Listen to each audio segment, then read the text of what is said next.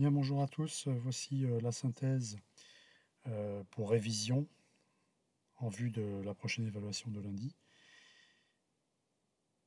Le MRP, euh, donc démarré en 1965 pour matériel ou équipement planning, qui est ni plus ni moins le calcul des besoins nets.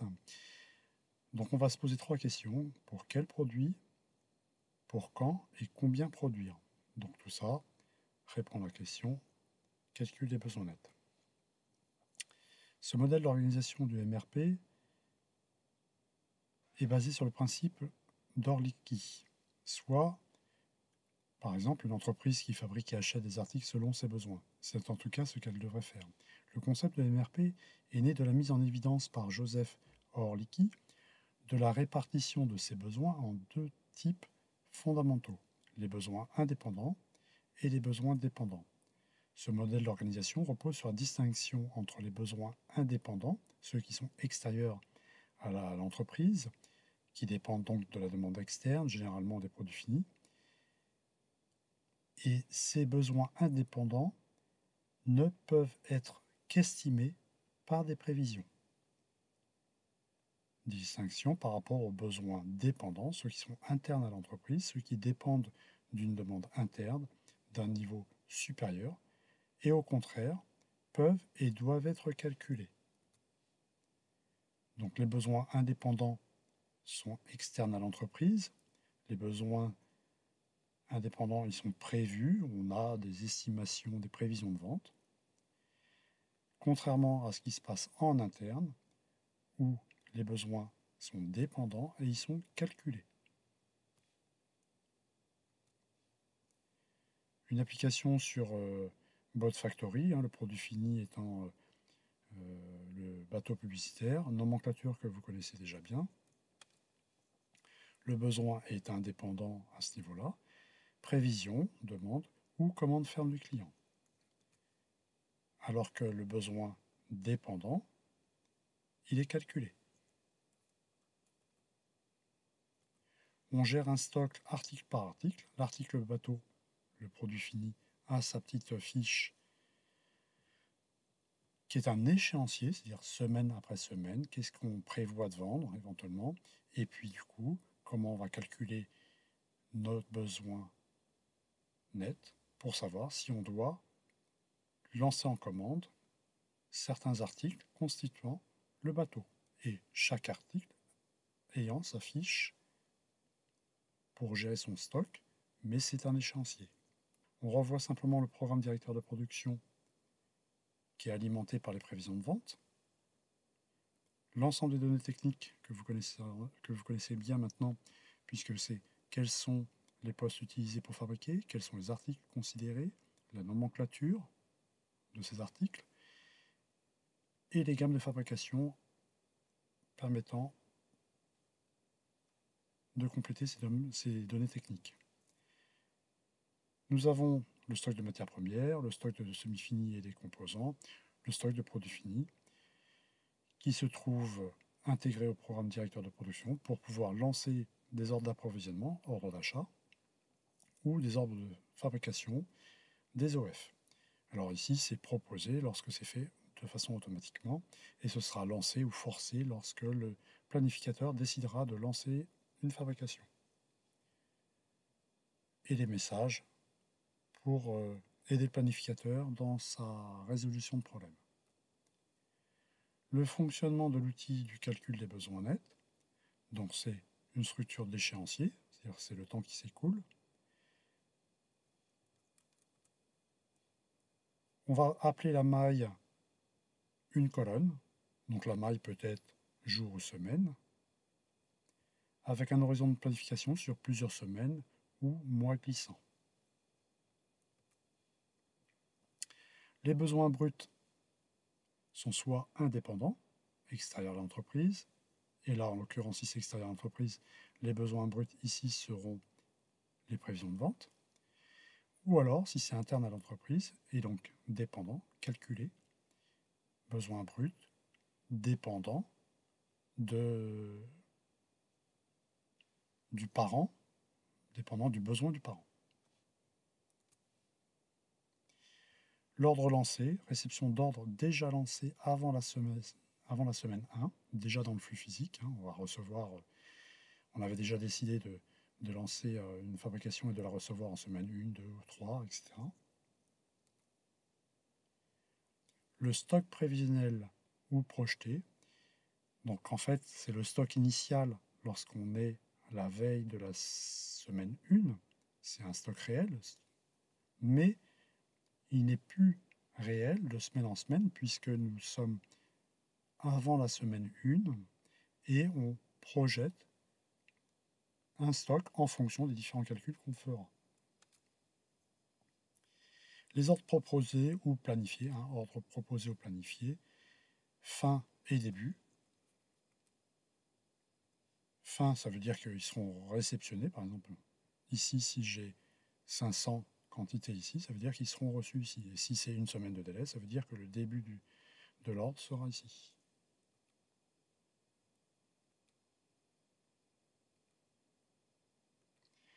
En termes de valeur dans chaque colonne, le besoin brut correspond au début de la semaine. De la même manière, hein, que lorsque j'ai parlé des 500 produits livrés, ils sont livrés en début de semaine 2. Ici, ils sont fabriqués, ils commencent la fabrication en début de semaine 1, s'il y a une semaine de délai. Alors que a contrario, cette ligne-là, c'est les valeurs en fin de période. C'est-à-dire que le stock initial avant la semaine 1, c'est bien quelque chose qui est en fin de période. Le stock qui est affiché en semaine 1 sera le résultat de la semaine de travail. Un petit exemple sur un phare de vélo. Phare de vélo qu'on a sur la, cellule flexible à l'atelier. Ce phare, est, composé de, plein de composants, dont euh, on va juste prendre une seule branche de vis carrées. Donc il nous faut deux vis carrées pour pouvoir fermer le phare. Pour fabriquer euh, les vis carrées, il faut passer sur un tour à commande numérique à partir d'une barre. Et puis ces barres sont achetées chez un fournisseur. Donc on a dit deux vis pour faire le phare. Pour euh, une vis, c'est un cinquantième de barre. Et puis les barres sont achetées par 50. Le délai, c'est une semaine pour avoir la barre. C'est deux semaines pour obtenir les vis. Et puis, c'est une semaine pour réaliser l'assemblage. On va s'intéresser au produit fini, phare, lot de sang, délai une semaine.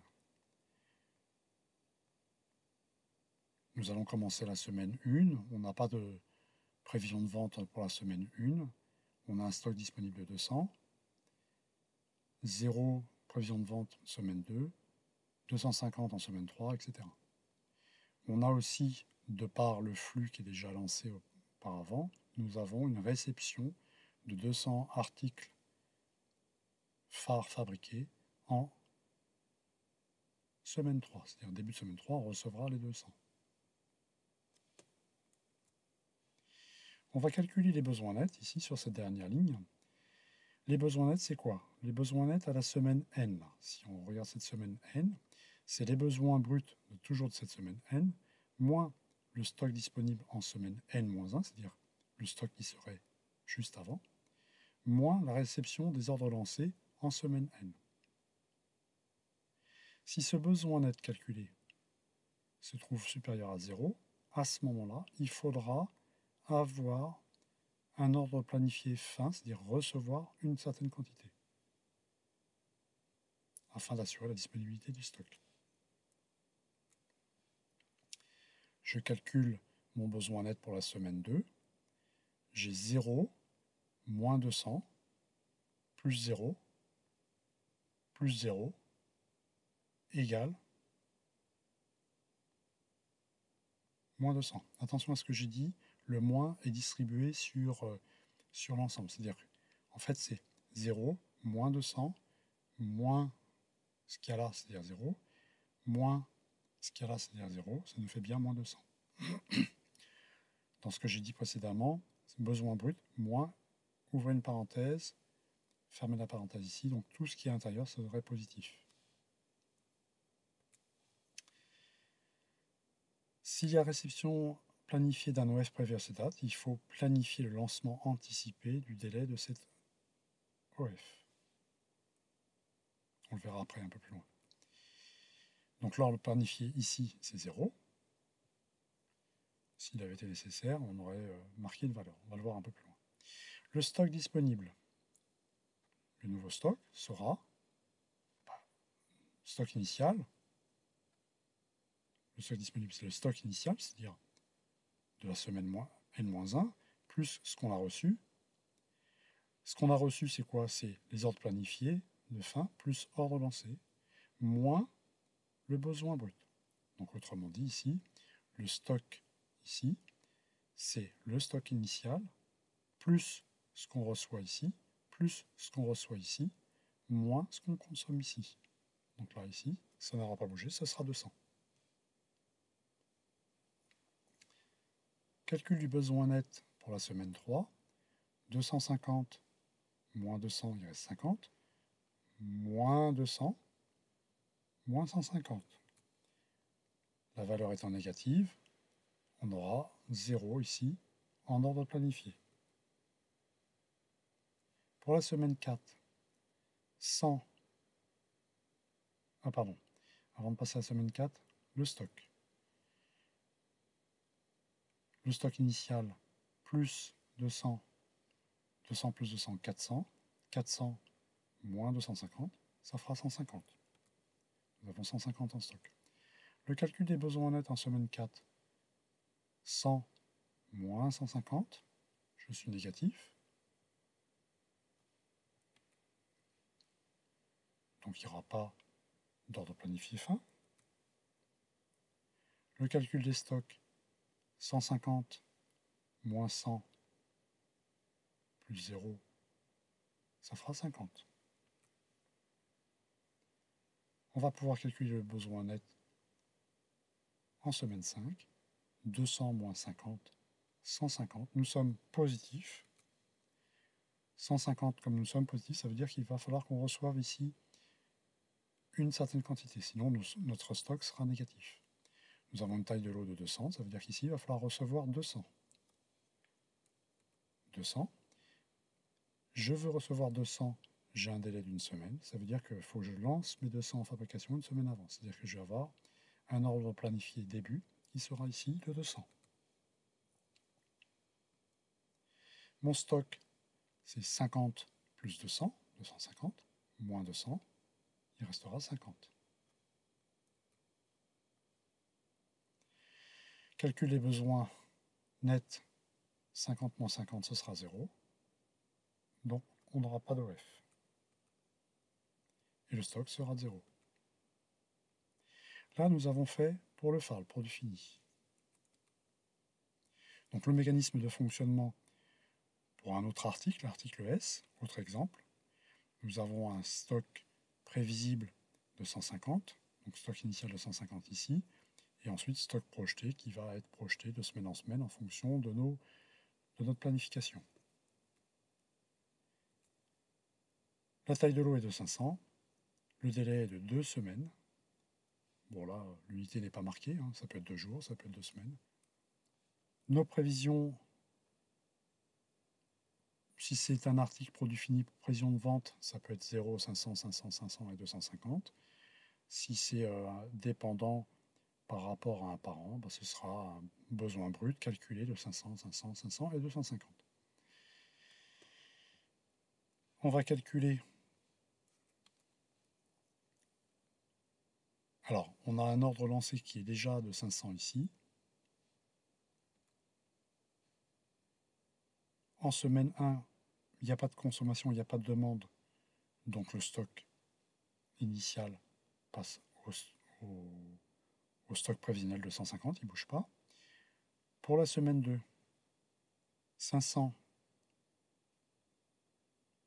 moins 150 moins 500, on est bien à moins 150, on est négatif, donc il n'y aura pas d'ordre de fabrication. Et j'ai besoin de 500, je reçois 500, mon stock restera 150. Pour la semaine 3, j'ai 150 en stock.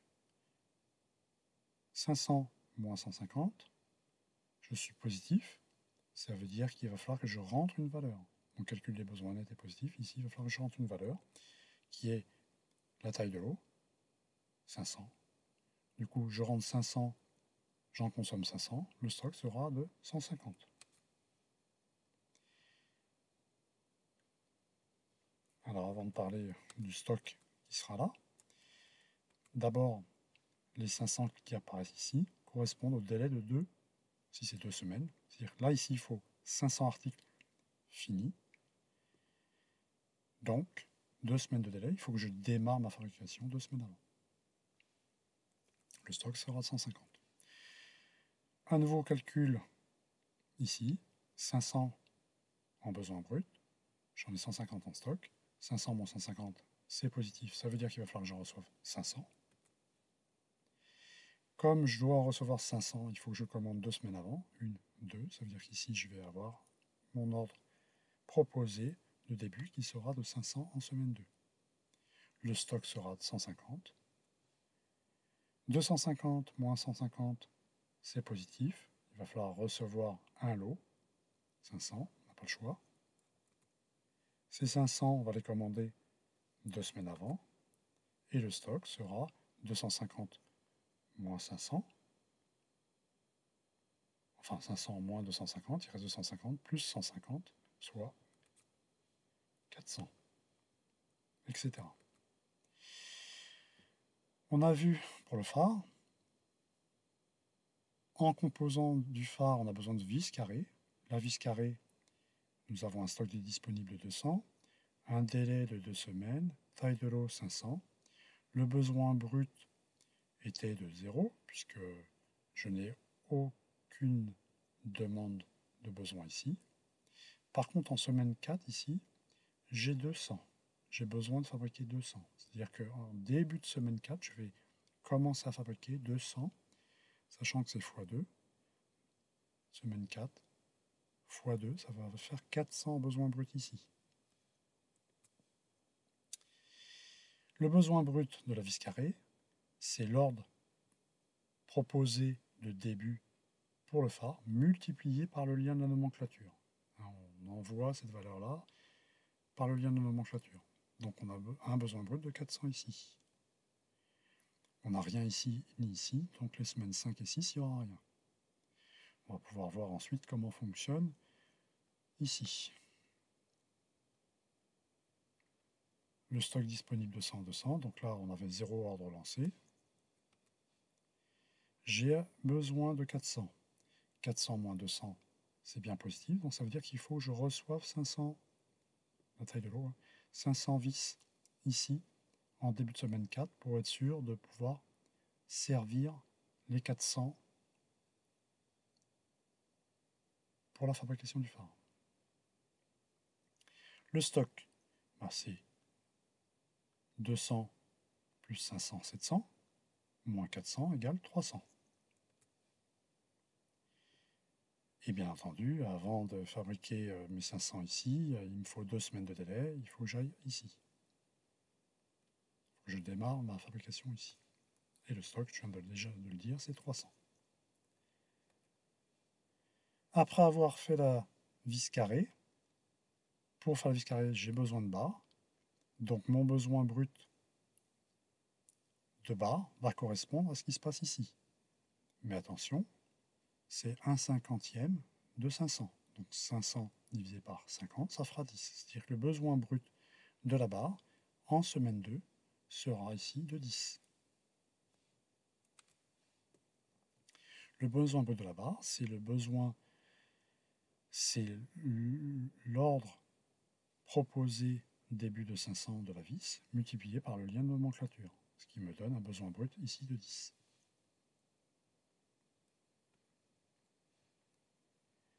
10 moins 5, on est positif. Ça veut dire qu'il va falloir que je reçoive 50 barres. Sinon, je ne pourrais pas servir mes vis. Sinon, je ne pourrais pas euh, servir mes barres sur le tour ici pour pouvoir fabriquer mes vis. Si je commande 50, si je veux une réception de 50, le délai est d'une semaine, ça veut dire qu'il faut que je commande en début de semaine 1, mes 50 ici. Le stock, bah, ce sera 5 plus 50, moins 10, soit 45. Et la boucle est bouclée, puisque je n'ai pas d'autres demandes ici, je n'ai pas d'autres besoins bruts. Ça veut dire que sur les semaines suivantes, je vais toujours avoir 45, 45, 45. Le résultat du calcul du besoin net, c'est quoi? C'est un échéancier sur l'horizon choisi pour tous les articles afin d'assurer disponibilité des stocks. Il ne faut jamais être sous le stock de sécurité. Ce qui nous permet d'avoir un niveau de stock prévisionnel. Niveau de stock prévisionnel pour les produits finis, permettant des engagements et le respect des demandes de clients, mais aussi pour les niveaux inférieurs dans la nomenclature, permettant les engagements du respect des demandes internes. Donc vous vous souvenez, hein, c'est le côté dépendant, pour assurer la disponibilité des composants. Il y aura aussi des messages d'aide au planificateur, hein, le programme, directeur de production affiche des petits messages. Type 1, action à réaliser pour la semaine courante, quand il y a un OF ou un ordre d'achat à passer, ou éventuellement à affermir. Le type 2, message d'alerte, par exemple lorsqu'il y a de la surcharge. En résumé, donc, nous avons nos ordres de fabrication proposés, ordre planifié début, qui se trouve ici, et reçu. Ici, l'ordre de fabrication pareil, et ici, un ordre d'achat, un ordre d'approvisionnement proposé.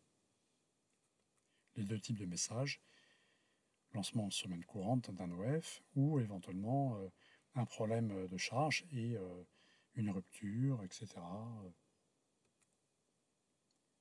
Le dynamisme du MRP. Il faut faire une mise à jour et recalculer les échéanciers suivant la maille. C'est-à-dire le recalcul des échéanciers suivant la maille, il va falloir le faire semaine après semaine.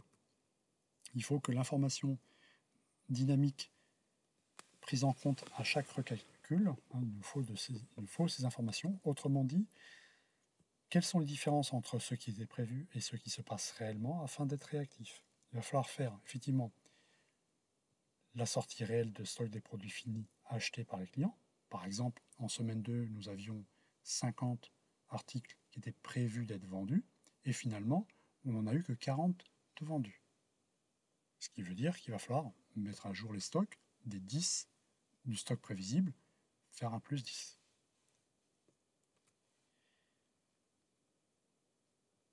Il va falloir noter aussi la réception réelle des produits finis, des semi-finis articles achetés en fonction bah, de un pourcentage de rebut, un retard de livraison, ou s'il y a un inventaire, faire une correction du niveau de stock.